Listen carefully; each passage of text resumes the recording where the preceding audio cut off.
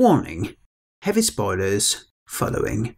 One tale that writers and storytellers have explored time and time again is the descent into the underworld, or in ancient Greek, Katabasis. Hellblade, Senua's Sacrifice is the latest in a long series of works that explore the theme of a hero, or heroine, in this case, venturing into the underworld in an attempt to save their beloved. In the myth of Orpheus and Eurydice, the nymph and daughter of Apollo was bitten by a viper and subsequently died. After a mournful gig played and sung by recent widower Orpheus, the gods give him the opportunity to venture into Hades' realm and plead for her return amongst the ranks of the living.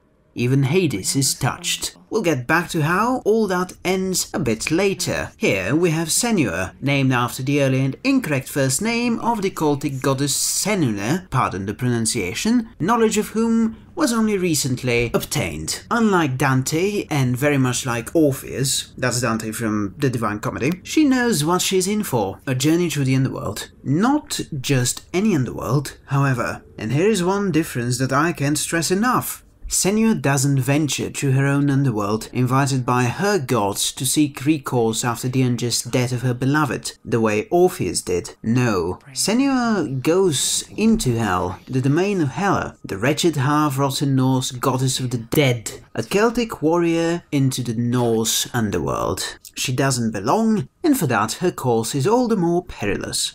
See Orpheus once again. His venture into Hades, while ultimately unsuccessful, didn't present a danger to his person. It's his weakness and lack of faith that cost him Eurydice. Hades and all the other gods are, if anything, too helpful. Senua doesn't have that problem. No helpful Celtic god eases the way.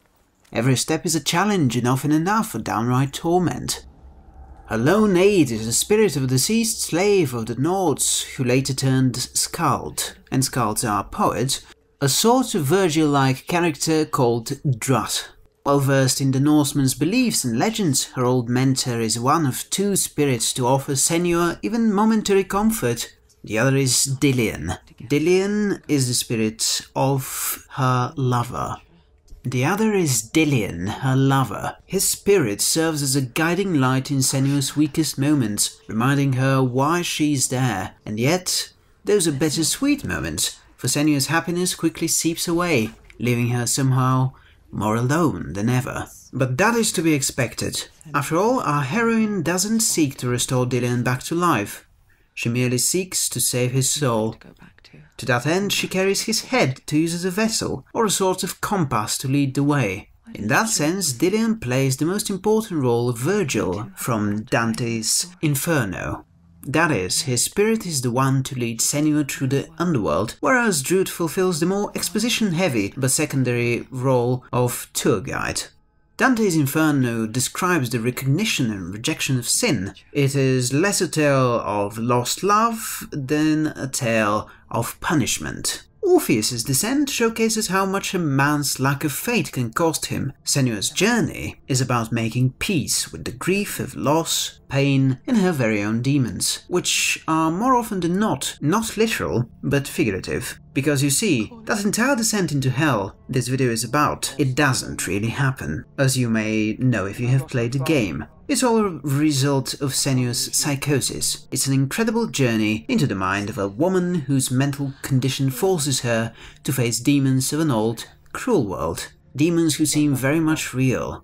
But the worst one of all is not one you do combat with, not a Norseman who Senua sees as a monstrous godling, but the voice of the darkness.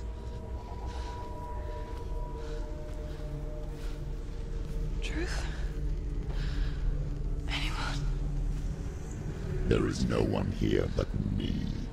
Not you. Did you think that I would let you go?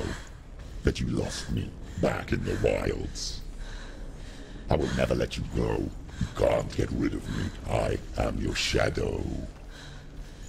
And I will be watching when you draw your last dying gasp. I'm not ready to die. You will be when you see what they did to your dear beloved.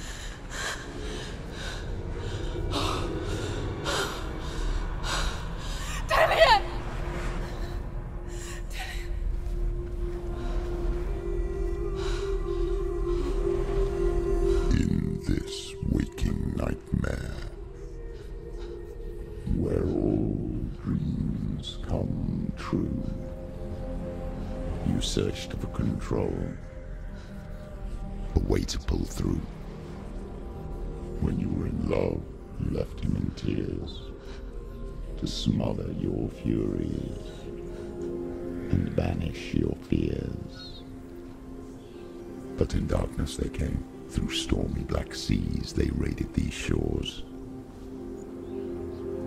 Do you still hear his screams?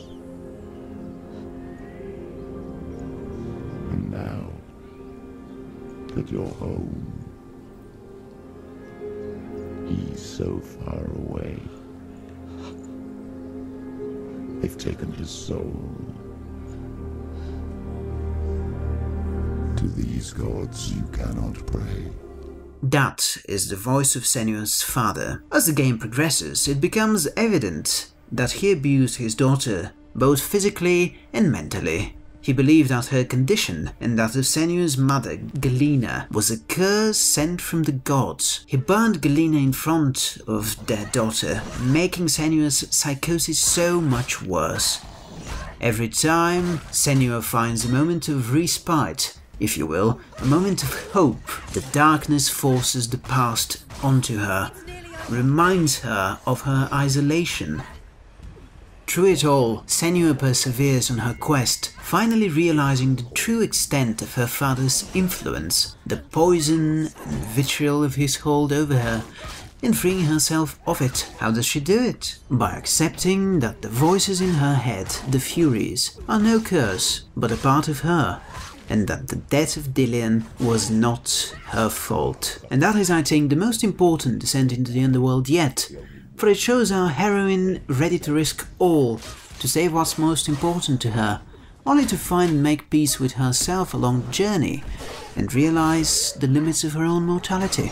Those are my thoughts about Hellblade Senua's Sacrifice's story to a very thin layer of mythological examples. I would have loved to include a few more myths, like that of the Sumerian goddess Inanna, or Hermod's journey to the same Norse hell in an attempt to retrieve the god Balder after Loki's trickery cost the god his life. Unfortunately, both of these didn't have nearly as many parallels as I would have liked, even though Hermod's journey is true the same hell we see in one way or another in a different interpretation in Hellblade. Plus, it's good to put out a shorter video every once in a while. With that in mind, mind. Thank you for watching. If you enjoyed, please like this video, subscribe and let me know what you think. Would you enjoy more of this kind of content? Hope so, because I certainly love making it.